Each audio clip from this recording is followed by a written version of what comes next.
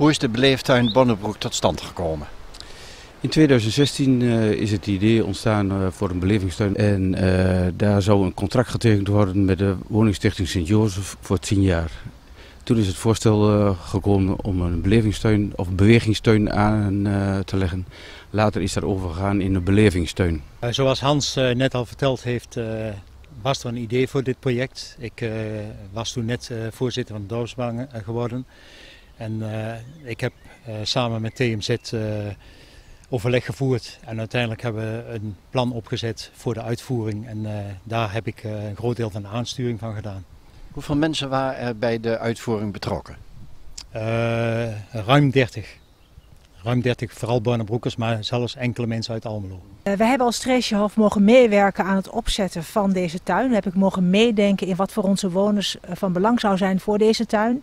Ja, en zie het prachtige resultaat. Nu kunnen wij activiteiten aanbieden in de tuin. We hebben al regelmatige activiteiten gehad bij het prachtige kippenhok wat een stukje verderop staat. Bewoners lopen hier langs de bakken om aardbeien te plukken en te genieten van de kruiden die erin staan. Dus in die zin eh, zijn wij heel erg blij met het resultaat en maken we er ook dankbaar gebruik van. Hoe ervaren of beleven de bewoners eh, de beleeftuin?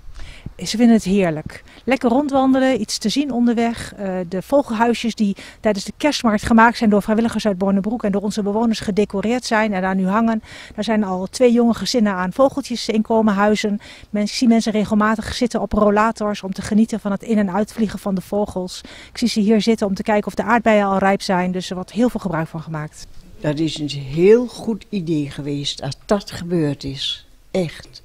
Het is hier echt leuk om het hele gebouw te lopen. Je komt alles tegen. Ja, ik vind het heel mooi. Het mooie van dit project is ook dat heel veel dorpsbewoners uit Bornebroek helpen met het onderhoud van de tuin. Dus niet alleen bewoners zijn daarvoor verantwoordelijk, maar ook Bornebroekers zijn daarvoor verantwoordelijk. En de samenwerking gaat heel erg goed.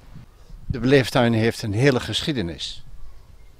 Ja, dat klopt. Er zit zelfs nog een geschiedenis van uh, dat hier vroeger een klooster was. En u voelde de mystiek hier terwijl u hier liep. En uh, dat beleven de mensen denk ik ook nog als je hier op een rustige dag zo, zoals vandaag hier rond kunt lopen.